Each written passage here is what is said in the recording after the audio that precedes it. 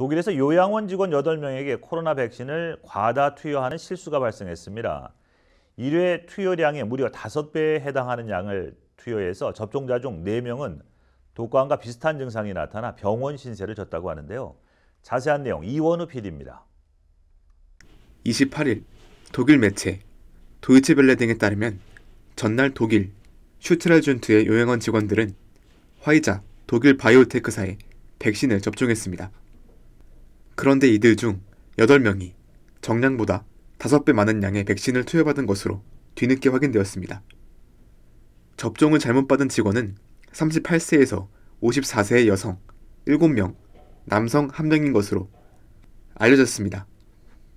이들 중 4명은 접종 이후 독감과 유사한 증세가 나타나 병원에 입원했다고 하는데요. 아직까지 큰 부작용이 확인되지는 않았고 예방적 차원에서 입원한 것으로 알려졌습니다. 슈트라 준트 지역 백신 접종 담당자는 오류로 인해 발생한 사고라며 유감의 뜻을 밝혔습니다. 지역 당국은 화이자 백신의 초기 연구 결과를 미루어 볼 때 정량보다 많은 양을 투여해도 생명에 지장을 줄 정도의 심각한 부작용은 발생하지 않았다고 밝히기도 했습니다. 한편 유통 과정에서 콜드체인에 문제가 생겨 975회분을 계획대로 접종하지 못하는 일도 있었습니다. 지난 27일 독일 남부 바이에른주 리히텐펠스에서 벌어진 일인데요. 시 보건당국이 백신 접종을 앞두고 운송 상자를 확인하던 중 내부 온도가 15도까지 올라간 사실을 확인해 해당 상자에 든 백신의 접종을 중단하고 원인 조사에 들어갔습니다. 화이자 백신은 영하 70도에 초저온 상태에서 보관되지 않으면 품질에 문제가 발생할 수 있는 것으로 알려져 있습니다.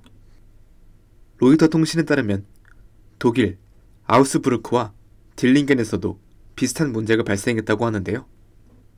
이 때문에 독일에서는 자칫 접종에 속도를 내려다 안전성을 놓쳐서는 안 된다는 경고음이 잇따르고 있습니다.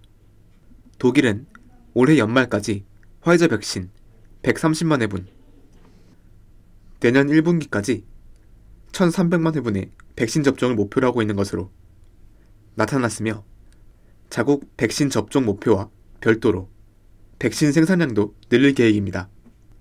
옌스 슈판 독일 보건부 장관은 28일 GDF 방송에 출연해 자국 내 백신 생산량을 대폭 늘리려 한다고 밝힌 바 있습니다.